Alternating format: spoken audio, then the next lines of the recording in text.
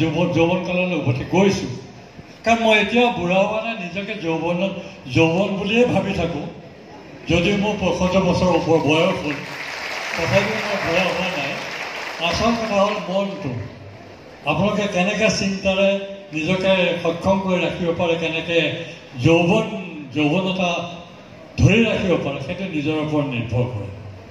গতিকে মই দৰং কলেজৰ পৰা পাছ কৰিছোঁ তেজপুৰ গভৰ্ণমেণ্ট হাইস্কুলৰ পৰা মেট্ৰিক পাছ কৰিছিলোঁ। তাৰ পৰা মই আৰম্ভণি মোৰ মোৰ ঘৰৰ ওচৰত এখন স্কুল আছিলে কলিবাৰী নিম্ন বুনিয়াদী প্ৰাইমেৰী স্কুল তাৰ পৰা মই শিক্ষা গ্ৰহণ কৰি চতুৰ্থ শ্ৰেণীৰ পৰা। অঁ আৰু এটা কথা আমি যেতিয়া পঢ়া শুনা আৰম্ভ কৰিছিলোঁ সেই সময়ত পাঁচ বছৰ বয়স নোহোৱালৈকে আমাক স্কুলত ভৰ্তি হ'ব নিদিছিল। গতিকে পাঁচ বছৰ হৈ যোৱাৰ পাছতহে মই স্কুলত নাম লগাব পাৰিছিলোঁ আজিকালি কেঁচুৱা দেখোন গৰ্ভত থাকোঁতে নাম ভৰ্তি কৰিব লগা এটা অৱস্থা আহি পৰিছে। এইটো সময়ৰ পৰিৱৰ্তন যুগৰ পৰিৱৰ্তন। এইটো হয় হৈছে আৰু পৰিৱৰ্তন হ'ব। গতিকে দৰং কলেজৰ কথা মনত পৰিছে। মই তাতো কালচাৰেল ছেক্ৰেটাৰী আছিলোঁ সংগীত বিভাগৰ। তাতো নাটক চাটক কৰিছিলোঁ। সৰুৰে পৰা মই নাটক কৰোঁ। প্ৰাইমেৰী স্কুলত পঢ়ি থকাৰ পৰাই মই নাটক কৰিছিলোঁ মোৰ জীৱনৰ প্ৰথম নাটকখন আছিলে লাচিত বৰফুকন। তাত মোৰ এটা ঘটনা ঘটিছিল। লাচিত বৰফুকন যিটো শেষ দৃশ্য ক্লাইমেক্স বুলি কয় বৰফুকন ডাঙৰে নৰিয়াত পৰি আছে ইফালে। সৈন্যসকলে খবৰ দিলে যে আমাৰ মোগল সৈন্য আমাক মাৰি কাটি চেদেলি ভেলি কৰিছে। আমি পিছ হুহকি আহিছোঁ আমি এতিয়া হাৰিম। গতিকে আপুনি আমাক আগবঢ়াই নিবৰ কাৰণে আহিব লাগে ৰণক্ষেত্ৰলৈ লাচিত তেতিয়া নৰিয়া পাতি। তেতিয়া খবৰ শুনি লাচিত সেই নৰিয়া গাড়ী উঠিলে উঠি পাতৰ ধুতি চেলেং মথুৰা পাক হেং দাং ল'লে। তেনেকুৱা এটা ঘটনা ঘটিল। মোৰ যেতিয়া মথুৰা পাক মাৰি ল'লোঁ আৰু ধুতি পাতৰ ধুতি সেইখন পিন্ধোতে মোৰ পোনটো এৰাই থাকিলে মানে গুচি গ'ল ছিঙি গ'ল। মানে পোনটো ধুতিখন খুলি থাকিল মথুৰা পাকটো খুলি গ'ল। আৰু যিডাল হেংদাং মই হাতত লৈছিলোঁ সেইডাল মোতকৈ ওখ আছিলে আৰু মই বৰ ক্ষীণ আছিলোঁ। দাঁত উজ্বলা ক্ষীণ আছিলোঁ। গতিকে সেইডাল দাঙিবলৈও কষ্ট হৈছিল। ইমানখিনি কৰাৰ পাছত মই মোৰ যিখিনি বচন আছিলে সেইখিনি মই পাহৰি ভেয়া ভেয়াকৈ কানি গিৰিনুমলৈ সোমাই গ'লোঁ।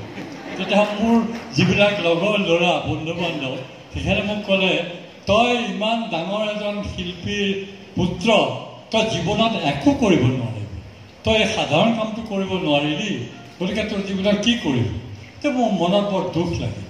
দুখ লগাৰ পিছত মোৰ মনত এটা জীয়েত সোমালে যে মই এটা সময়ত মোৰ বন্ধুসকলক মই দেখুৱাম মই যে অভিনয় কৰিব পাৰোঁ। সেই জেদটো সোমোৱাৰ পিছত মই সৰুৰে পৰা অভিনয় কৰিবলৈ আৰম্ভ কৰিছিলোঁ আৰু মোৰ মোৰ ঘৰখন তেজপুৰৰ বানৰংগ মঞ্চৰ ওচৰতে নামটো বস্তুৰ বহুতে শুনিছে তাত ফণী সমাজৰ বিষ্ণুপ্ৰসাদ ৰাভা মোৰ দেউতা চন্দ্ৰজন গোস্বামী এইবিলাকৰ অভিনয় চাই চাই নিজে অভিনয় কৰিবলৈ আৰম্ভ কৰোঁ এটা সময়ত মই যেতিয়া গভৰ্ণমেণ্ট স্কুলৰ পৰা দৰং কলেজলৈ আহিলোঁ মই তেতিয়া বি এৰ ফাইনেল দিছিলোঁ বি এৰ ফাইনেলৰ শেষ পৰীক্ষাৰ আগে আগে মই এখন চিঠি পালোঁ চিঠি মানে এটা এডভাৰটাইজমেণ্ট ওলাইছিলে আছাম ট্ৰিবিউন খবৰ কাগজত তাত ওলাইছিল যে পুনা পুনাত এটা ইনষ্টিটিউশ্যন আছে যিটো ফিল্ম ফিল্মৰ ওপৰত প্ৰশিক্ষণ দিয়ে।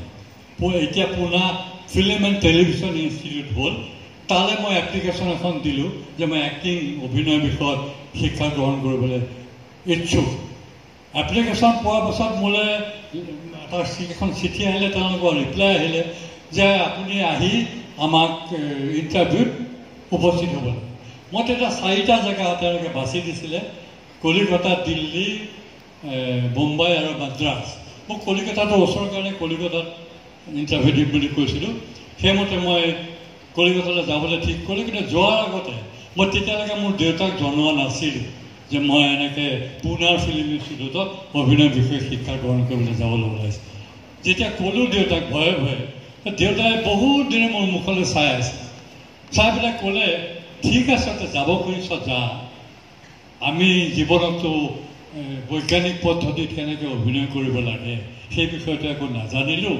গতিকে তই যদি চিলেক্ট হ তেনেহ'লে এই বিষয়ত শিক্ষা গ্ৰহণ কৰি তই তাৰ পৰা আগে আৰু লগতে তই যদি বি এটো পাছ কৰ যদি গ্ৰেজুৱেট হ তাত বৰ সুন্দৰ সুন্দৰ ল' কলেজ আছে। ল' কলেজৰ নামটো ভৰাই দিব মই কলত গ'লোঁ ইণ্টাৰভিউত গ'লোঁ ইণ্টাৰভিউত মই চিলেক্ট কৰোঁ মোক মাতিলে। মোৰ লগত শত্ৰুঘ্ন সিনহা আছিলে একেলগে লগৰ কল্যাণ চেটাৰ্জী আছিলে আৰু আভা হাজৰিকা বুলি এগৰাকী অসমৰে জীয়ৰী আছিল। যেতিয়া চিলেকশ্যন হৈ পেলাই মই গ'লোঁ গৈ তাত নামটো লগালোঁ।